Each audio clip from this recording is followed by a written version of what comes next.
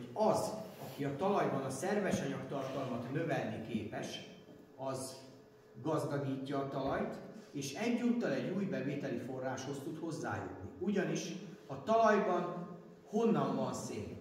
A növényi maradványok megkötéséből van szén. A növény honnan szedi a szenet? A légkörből szedi a szenet, és aki a légkörből most szenet tud kivenni, annak a nem olyan távoli jövőbe ezért jelentős kvótákat fognak fizetni, mert csökkenti a levegő széndiokszid tartalmát, mert ezzel kedvező hatást gyakorol a Földön egyébként a klímaváltozás. Hogyan lehet ezt elérni? Úgy lehet elérni, hogy olyan művelési módot választunk, amelyik lehetőleg egyrészt nem hagyja barnán, csupaszon a földet a fő tenyészidőszakon kívül, másodszor pedig lehetőleg a talaj forgatás nélküli művelésével jár együtt. Miért fontos ez a kettő? Nézzünk meg egy barnára művelt talajt, most ilyenből egyre több van a határban, mert ugye vetni akar az ember, de ha nem vett tavaszig, akkor is leszántja a kukorica tarlót vagy a búzatarlót, és úgy hagyja egész télen. Mi történik a talajjal, még nincs annyira hideg? Hát egyrészt a talajban megindulnak azok a bomlási folyamatok, amiket mondtam, és itt még annyira nem divat a szántásokat lezárni. Tehát láttam nagyon sok szántást, úgyhogy ott vannak a rögök, mert az a gyakorlat, és ez jogos is, hogy majd a fagy szét fogja szívni ezeket a hantokat, és tavasszal könnyebb elmunkálni. Viszont ha nem zárom le a talajnak a pórus terei, akkor az ilyen száraz őszökön két dolog történik. Egyrészt rengeteg széndiokszid megy ki a levegőbe, mert közben a baktériumok eszik a humuszt. Azért, mert fölbolygattam az életterüket. És azok a baktériumok szaporodnak, amik eszik a humuszt. Szépen lassan, 100-200 év alatt megetetem az összes humuszt a talajban. És mivel szántok, és roncsolom a talaj szerkezetét, nincsenek baktériumok a talajban, és nincsenek bombák a talajban, hiába szórom ki a szerves trágyát, három év múlva majdnem pontosan ugyanúgy fog kinézni, nem tud mihez kötődni, nincsenek szerves anyag molekulák a talajban, nem tud bomlani a trágya, nincs mihez kötődjön, és nincs mi bontsa, mert nincs talajélet. A másik pedig, hogy mivel a talaj nincs lezárva, a szántás hantjai között nagyobb az üregek, ezért onnan a víz akadálytalanul tud párologni, ha süti a nap. Biztos, hogy láttak már olyan szántást, úgy szokták hogy gőzölög a szántás. Olyankor veszíti el azt a vizet, amire egyébként majd elengedhetetlenül szükség lenne akkor, amikor szeretnék a magot csíráztatni kezdeni. Van egy gyakorlat, ez a gyakorlat döntően négy elemből áll, amely megpróbálja ennek az összes kedvezőtlen folyamatnak kivenni a gyökerét, és az e- egészet orvosolni egyszer. Négy elem. Ez a négy elem, ez még egyszer fölmegy. Az első az az, hogy amennyiben lehetséges, és tudunk úgy gazdálkodni a talajon, akkor a szármaradványnak legalább egy részét a talaj tetején van. Tudom, igazuk van, ez csúszócsoroszjás vetőgépen nem lehet művelni, mert ezt szármaradványt összegyűri, és akkor csak káromkodik a traktoros, mert nem tud venni. De vannak olyan vetőgépek, és már itt is láttam olyan vetőgépet, az egyszerű tárcsás vetőgépek. Nem kell ehhez direkt vetőgép, ami tud nagyon komoly tarlóba meg szármaradványba is. Egy egyszerű tárcsás vetőgép egy ilyen talajban már tud venni, csak egy kicsit meg kell növelni a hidraulikus nyomást az emelőkarokon keresztül, úgy, hogy jobban nyomatjuk a földbe a vetőgépet, Nekünk is ilyen van, nincs direkt betőgépünk, és az ilyen talajba könnyen tudunk venni. A másik, hogy lehetőség szerint nem bolygáljuk a talajt. Itt ezen az ábrán szeptember közepén látható egy szója, amit az árka tarlójába vetettek. Na azt mondjuk direkt betőgépben csinálták, az nem a mi anyag. De meg lehet azt is csinálni, hogy épp a talaj tetejét elműveljük valamivel, tárcsával vagy kultivátor és akkor abba vetünk. De ezt nem szabad úgy csinálni, hogy az előző évben még szántottam, a következőben meg már nem szántott, csak tárcsázok, mert a szántás során a talajnak a alsó rétegén, ami fölött az eke fut, kialakul egy kemény, gyakorlatilag a gyökerek számára is áthatolhatatlan réteg, az eke Ha szántanak, szálljanak egyszer ki a traktorból valahol a föld közepén, és nézzék meg az utolsó eketest után a földet a barázda alján. A barázda alján ott van ez a és minden egyes ekefej megcsinálja ezt a kemény réteget, ezt úgy hívják, hogy eketal. A felső 30 centit forgatjuk és forhanyítjuk, közben elveszítjük a humuszt, meg elveszítjük a talajéletet is, de legalább ez a 30 centi porhanyó, viszont nem csak a gyökerek nem tudnak átmenni ezeket alkon a víz sem. Ökölszabály, hogy 1 cm talajt 1 mm eső áztatál. Ha 30-40 cm, 30-40 mm-nél több eső esik egyszerre vagy pár nap alatt, akkor a talaj teljesen telítődik, és mivel a reketalpon nem tud átszivárogni, pocsolyák alakulnak ki a földön, megjelenik a pervíz. Ezért az eketalp megszüntetése elengedhetetlenül fontos, mielőtt átállunk erre a fajta gazdálkodási módra. Az eketalpat megszüntetni mélazítással, középmélazítással vagy nehéz kultivátorokkal lehet. Utána a talajt nem hagyjuk magára télen, nem műveljük barnára, hanem elvetjük valamilyen növénykeverékkel, ami nem azt a célt szolgálja, hogy betakarítsuk, hanem azt a célt szolgálja, hogy javítsuk a talajt. Homoktalajokon nagy mellékgyökérzetű növényeket vetünk, homokizamot, rozsot, mit tudom én, mert a mellékgyökérzet megköti a homokot, és nem engedi, hogy a szél elfújja, nem engedi meg az időjárás okozta eróziót. Kemény talajokon olyan növényeket vetünk, amiknek a gyökere nagyon mélyre megy, és lehetőség szerint mélyen lazítja a földet. A természet maga is csinálja ezt, tehát hogyha olyan a talajunk, hogy kemény és zárt, akkor azon előbb-utóbb megjelenik a pitypang. A pitypangnak hosszú karógyökere van, és próbálja lazítani a talajt. De hát nyilván mi tudunk ezen gyorsítani. Vannak olyan retkek, például a tarlóművelő retek, de a sima olajretek is jó erre, amiket egy középmély lazítás után takarónövényként alkalmazva minden előnyét meg tudjuk tartani a középmély lazításnak a következő évre, és onnantól már nem kell mély lazítózni a talajt, mert a gyökerek átjárják.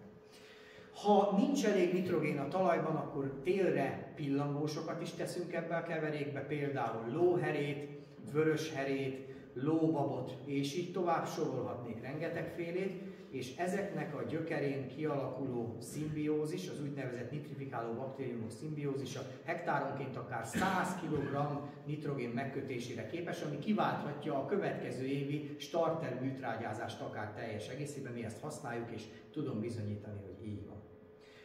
Amikor élő gyökerek vannak a talajban télen, akkor azokon gombafonalak képződnek. Most nem hoztam olyan képet, és ez butaság volt, mert van ilyen felvételem, ami látható, hogy télen kihúztunk a takaró növényből egy marékkal, és a gyökerén fehér gombafonalak vannak, tehát a talajban van talajélet. Hogyan kell ebbe akkor vetni mondjuk tavasszal? Ebbe úgy kell vetni tavasszal, hogy én úgy hallottam, hogy itt nincs ilyen ö, eszköz gyakorlatilag, mert nem nagyon szokták használni.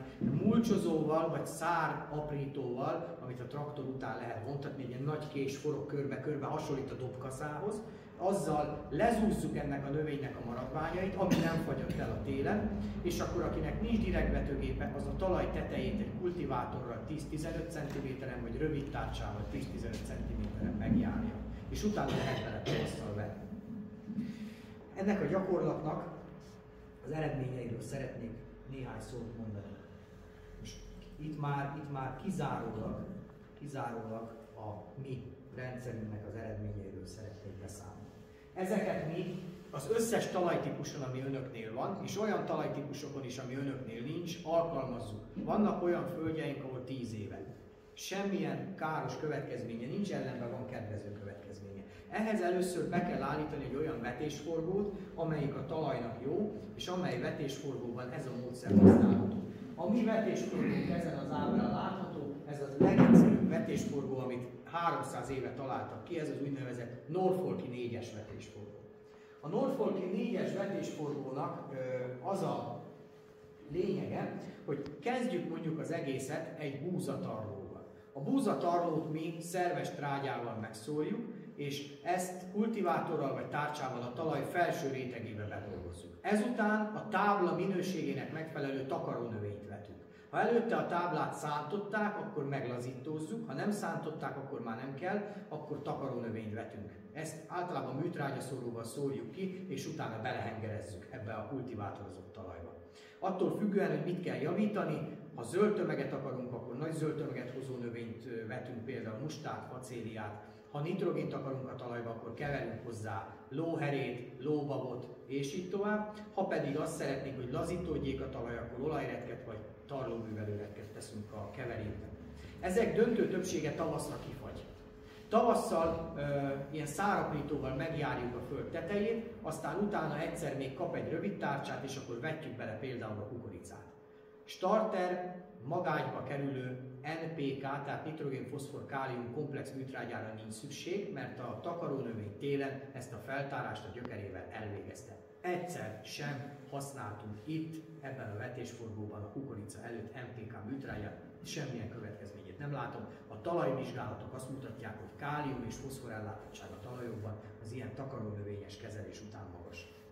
A kukorica viszonylag későn takarul be, tehát azután már nehézkes olyan őszi kalászos vetni, amit korán kell vetni, tehát például az őszi árpát, azt el kell felejteni. Mi a tavaszi árpát vetjük utána, de ezen az éghajlaton ez megfontolandó, még ez nem biztos, hogy itt működik. Minden esetre mi tavaszi árpát vetünk utána rögtön ősszel. November 15-ig vetjük el a kukorica tarlójába a tavaszi árpát. Kérdezhetik, hogy nem fagy ki. Nem fagy ki, Magyarországon legalábbis a Kárpát-medence alacsonyabban fekvő részein már nincsenek olyan fagyok, hogy megakadályozzák, illetve megkátolják a növekedésbe az árpát, illetve ma már vannak olyan tavaszi árpafajok, amelyek mínusz 15 fokot kibírnak 4-5 napig hótakaró nélkül is. Az eddigi eredmények azt mutatják, hogy míg a tavasszal vetett tavaszi árpa hozama 3-4 tonna per hektár, az ősszel vetett tavaszi árpa hozama, amit közvetlenül a kukorica után rakunk a talajba, 5-6 tonna, és a rekorder táblán 7,8 tonna volt. Ezután ez a két növény, a tavaszi árpa és a kukorica annyit kivett a talajból, hogy a trágyázás kedvező hatása már elmúlt, így a következő növénynek pillangósnak kell lenni.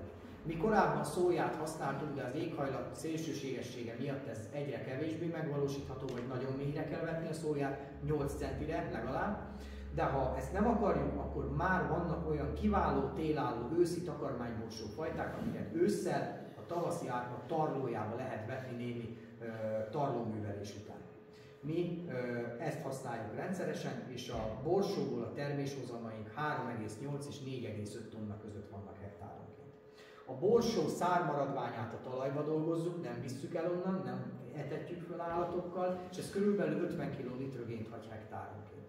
A borsó tarlóját műveletlenül hagyjuk egészen augusztus-szeptemberig, hogy megjönnek az első esők, akkor megcsináljuk a magágykészítést, és akkor vetjük bele az őszi búzát. Az őszi búza a borsó után körülbelül 5 mázsás többlettel hálálja meg azt, hogy borsó volt Akkor mutatom, hogy néz ki. Ez volt az első takarónövényes táblánk 2014-ben azt hiszem. Ne a parasztot nézzék, hanem mögötte a földet.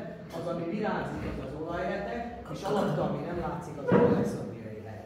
Következő évben nyáron készítettem meg ugyanazon a területen a felvételt a kukoricáról. Látható, hogy július közepére már kezd kiszáradni a fű, tehát elég száraz volt az az év, a kukorica pedig haragos zöld, és a terméshozama ennek a kukoricának tökéletesen, szinte gramra megegyezett a kontroll táblával, amit szántottak. Az volt a különbség, hogy mi nem szántottuk ezt a táblát, továbbá nem adtunk neki NPK-s tartalműtrágyát, és a kukoricának Magyarországon standardban szokásos négy másás pétisú helyett kettő másas pétisút szórtunk ki, és a takarónövény kedvező hatásának a következtében mind a két táblán szinte mondom dekára pontosan 8,5 tonna volt a kukorica terméshozama. Az alsó képen egy francia búza látható, francia származású vetőmag. Itt csak a szántást hagytuk el, de minden más műveletet megcsináltunk, de ennek is szép terméshozama lett. Azóta gyakorlatilag mi nem szántunk, és itt pedig látható egy ősszel tavaszi árpának a képe. Ez volt az a rekorder tábla, amelyik a 7,6 tonnát hozta, és akkor mutatok kukoricacsövet egy szép évben ilyen kukoricacsövek vannak, és a kukorica, ez nem a mi gazdaságunk, hanem Puszta Kovácsival, Beret Ferié gazdasága. Ők takaró növénynek rozsot használnak térre, a rozsot tavasszal lehengerezik, itt látható a rozsnak takarja a talajt, gyakorlatilag nincs szükség gyomírtásra, és egy kicsit erősebb csoroszja nyomással egy hagyományos kukorica vetőgép is tud belevetni és ő neki ebben az évben körülbelül 11,5 tonnás kukoricája lett. Erről mi nem is álmodunk, de neki sokkal nagyobb táblái vannak. Jó, hát nagyjából ennyit lehet elmondani egy óra alatt erről a művelési rendszerről, meg arról, hogy körülbelül mi az, ami önökre vár. Magyarországon az agrár felsőoktatás, illetve a minisztérium már pedzegeti, hogy a szántást, mint káros agrotechnikai műveletet ki kell vezetni a mezőgazdasági gyakorlatban. És higgyék el, ami Magyarországon most beszédtéma, az néhány éven belüli terdébe is meg fog jelenni. Tehát jobb elébe menni a folyamatnak. És én azt gondolom, hogy a jövőt azt nem úgy kell csinálni, hogy ki akarjuk kerülni a változást, hanem elébe megyünk. És ez az elébe menés remélem talán valamelyest érthető, hogy én ezeket itt elmondtam. Nem azért fogják ezeket a gyakorlatokat károsnak ítélni és tiltani, vagy legalábbis kedvezőtlennek mondani, mert önökkel ki akarnak babrálni, hanem mert a legújabb talajtani kutatások eredményei azt igazolják, hogy lehet így gazdálkodni, és a szántás, mint művelet összességében nem kedvező a talajok számára, még akkor se az elmúlt száz évben megszokott. Jó? Ennyit szerettem volna elmondani, nyilván lesz kérdésük, akkor én arra megpróbálok válaszolni. Jó, és bocsássanak meg, ha esetleg nem voltam érthető, vagy pongyola voltam, vagy túlságosan sok ismeretet szerettem volna átadni.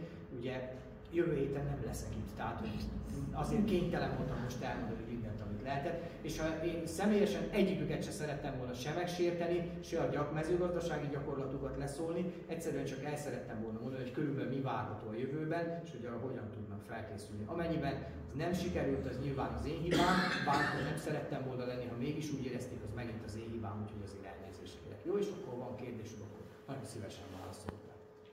Nyugodtan